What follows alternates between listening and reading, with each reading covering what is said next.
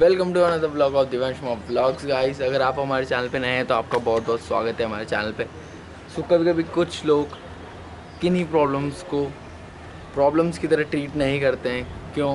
क्योंकि वो प्रॉब्लम्स उनकी खुद की नहीं होती है। या it's true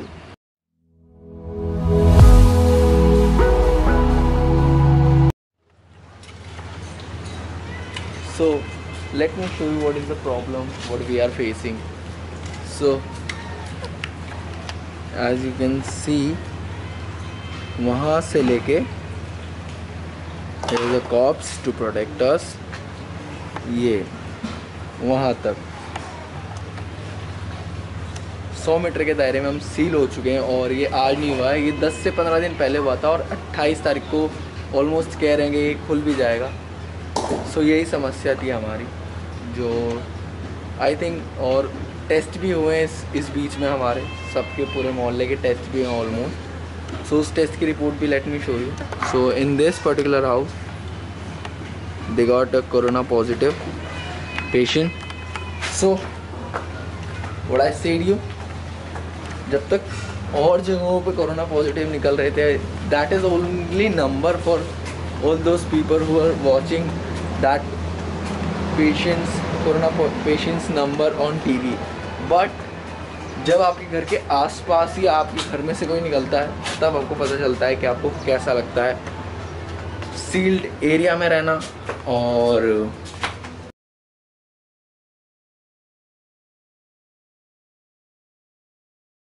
so this the second time जब हमारी सैम्पलिंग दोबारा हुई है और टेस्टेस टेस्ट हो रहे हैं।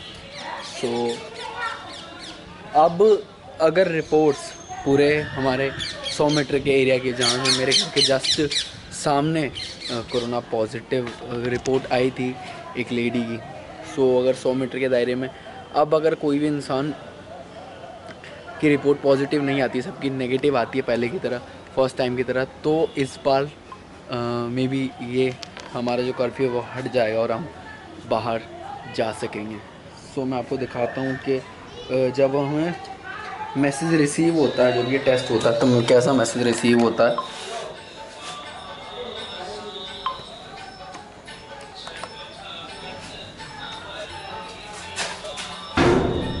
सो so, थोड़ा अंधेरे में आया मैं। सो so, ऐसा मैसेज रिसीव हुआ है हमें।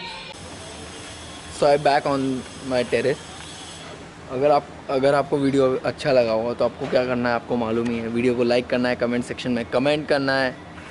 अपने फ्रेंड्स और फैमिली के साथ वीडियो को शेयर करना है। और अगर आप हमारे चैनल पर नए हो तो चैनल को सब्सक्राइब करते हुए जाना बेल आइकन प्रेस करना मत भूलना, ताकि जब भी मैं नई वीडियो डालूँ, आपको सबसे पहले नोटिफिकेशन मिलेगा। इस see in the next blog guys till then bye bye